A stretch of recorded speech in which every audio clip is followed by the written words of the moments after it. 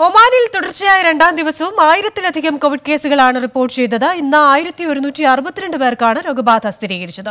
ഒൻപത് മരണവും റിപ്പോർട്ട് ചെയ്തതോടെ ആകെ മരണസംഖ്യ ആയിരത്തി അറുന്നൂറ്റി എഴുപത്തിയാറായി ഒമാനിൽ കോവിഡ് രോഗികളുടെ എണ്ണത്തിലെ വർധനവ് തുടരുകയാണ്. പുതുതായി ആയിരത്തി ഒരുന്നൂറ്റി അറുപത്തിരണ്ട് പേർക്ക് കൂടി കോവിഡ് സ്ഥിരീകരിച്ചതോടെ ഒമാനിലെ കോവിഡ് ബാധിതരുടെ എണ്ണം ഒരു ലക്ഷത്തി അൻപത്തൊൻപതിനായിരത്തി ഇരുന്നൂറ്റി പതിനെട്ടായി ഉയർന്നു. കോവിഡ് മരണങ്ങളിലും വൻ വർധനവാണ് ഉണ്ടാവുന്നത്. ഇന്ന് കോവിഡ് ബാധിച്ച് ഒൻപത് പേർ കൂടി മരിച്ചതായി ആരോഗ്യ മന്ത്രാലയം അറിയിച്ചു. ആകെ മരണസംഖ്യ ആയിരത്തി അറുന്നൂറ്റി എഴുപത്തിയാറായി. അതേസമയം ഇന്ന് കോവിഡ് മൂലം അറുപത്തെട്ട് രോഗികളെ കൂടി ആശുപത്രിയിൽ പ്രവേശിപ്പിച്ചു. ഇതോടെ ആശുപത്രികളിൽ ചികിത്സയിൽ കഴിയുന്നവരുടെ എണ്ണം അഞ്ഞൂറ്റി പതിനഞ്ചായി. ഇതിൽ നൂറ്റി അൻപത്തി പേർ തീവ്രപരിചരണ വിഭാഗത്തിൽ ചികിത്സയിലാണെന്നും ഒമാൻ ആരോഗ്യ മന്ത്രാലയം വ്യക്തമാക്കി. ഇരുപത്തിനാല് മണിക്കൂറിനിടെ അഞ്ഞൂറ്റി അറുപത്തെട്ട് രോഗികളാണ് കോവിഡ് മുക്തരായത്. ഇതോടെ രാജ്യത്ത് രോഗമുക്തി നേടിയവരുടെ എണ്ണം ഒരു ലക്ഷത്തി നാൽപ്പത്തി മൂവായിരത്തി തൊള്ളായിരത്തി അറുപത്തി ആറായി തൊണ്ണൂറ് ദശാംശം നാല് ശതമാനമാണ് നിലവിൽ ഒമാനിൽ കോവിഡ് രോഗമുക്തി നിരക്ക്.